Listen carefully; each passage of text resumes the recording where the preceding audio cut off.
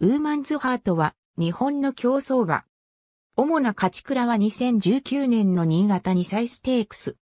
2017年2月8日、北海道日高町のダーレイジャパンファームで誕生。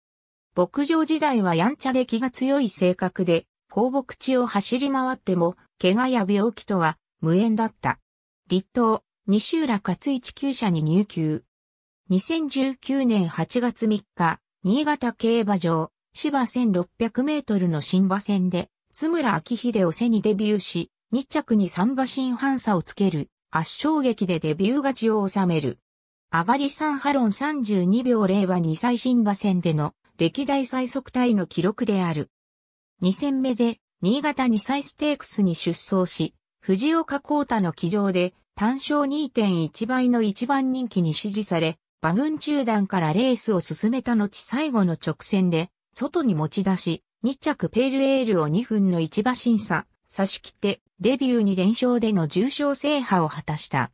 父ハーツくらいは、この勝利で3区の JRA 全10馬重賞勝ちを記録。また、2着ペールエールに騎乗していたミルコ・デ・ムーロは、レース後開口1番に強すぎるよと苦笑いするしかなかった。その後、休養を挟んで12月8日の阪神、ジュベナイルフィリーズに2番人気で出走したが、レシステンシアの4着に敗退した。3歳初戦となった3月7日のチューリップ賞は、マルターズディオサの6着に終わる。牝馬クラシック第1弾の桜花賞は16着、優秀牝馬も12着と大敗を喫した。秋に入り、秋華賞とライアルのローズステークスに出走するが、最下位18着。距離を短縮して挑んだ新越ステークスでも14着と2桁着順が続いた。